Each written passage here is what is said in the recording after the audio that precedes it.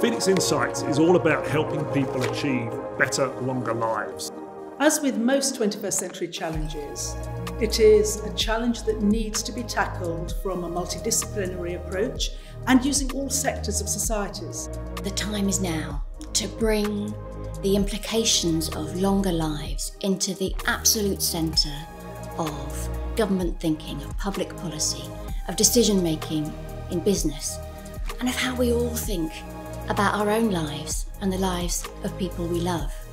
Let me give a specific example of better, longer lives. In the UK, all of us are living longer, but healthy life expectancy hasn't changed that much. We're going to live longer, we've got to live healthier, uh, and we've also got to change society.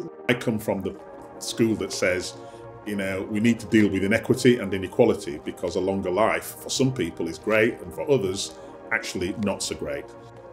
Some of our research is going to be exploring issues like financial security, work, lifelong learning, health, care, our homes and places, to see how people are experiencing these long lives and explore where the opportunities might be for action that would enable more people to live longer lives better.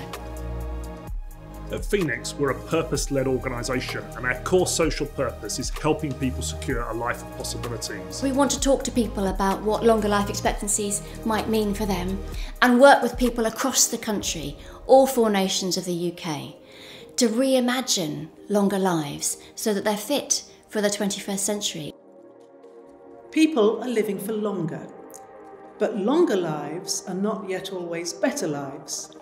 We want to change this. Phoenix Insights is a new think tank set up to transform the way society responds to the possibilities of longer lives. We will use research to lead fresh debate, prompt a national conversation, and inspire the action needed to make better, longer lives a reality for all of us.